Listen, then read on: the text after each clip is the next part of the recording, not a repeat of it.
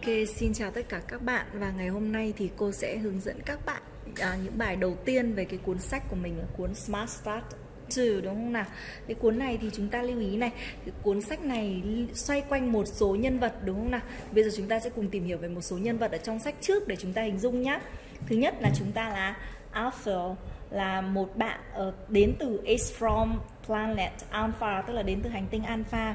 Và anh ấy là một người luôn luôn có rất nhiều câu hỏi. À, chính vì anh ấy đến một hành tinh khác anh ấy có nhiều câu hỏi cho nên nó rất là giúp ích cho các bạn trong cái việc mà chúng ta đặt cách học cách đặt câu hỏi từ bạn ý học cách trả lời từ những nhân vật còn lại đúng không nào? Đó.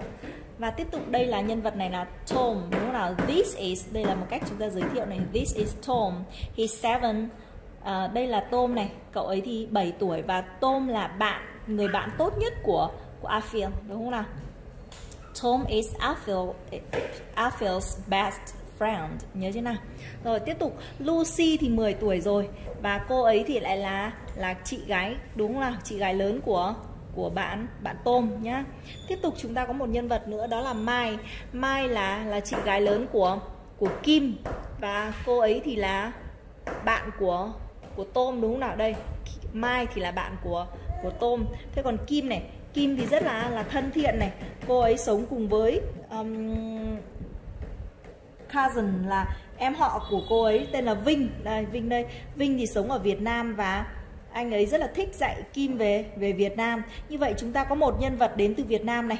Các nhân vật này thì lại là là đến từ đây Mai và Kim cũng thế này từ Việt Nam này. Còn đây là nhân vật sống ở nước ngoài đúng không nào? Nhưng mà chúng ta có liên quan đến nhau đúng không nào?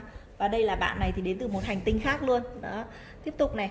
Uh, đây là cái cái spaceship thì các bạn lần các bạn nhớ nhá spaceship là gì? Đây là gọi là tàu không gian đấy đúng không nào? Ship là con tàu này ship là con tàu space là không gian. Đó thì đây là tàu không gian của Aphil.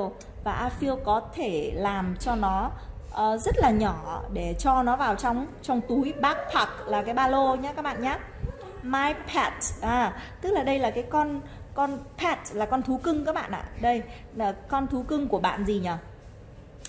Của bạn Aphil này là đi cùng với bạn ý đúng không nào? Nhưng mà bây giờ thì anh ấy is lost là đã bị mất rồi và bạn có thể giúp tôi tìm lại được anh ấy hay không?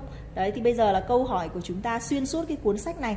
Khi mà chúng ta đi đến từng nhà tìm hiểu, gặp gỡ từng người, thì bạn này luôn luôn là người có rất nhiều câu hỏi. Và mục đích cuối cùng là chúng ta sẽ tìm ra bạn.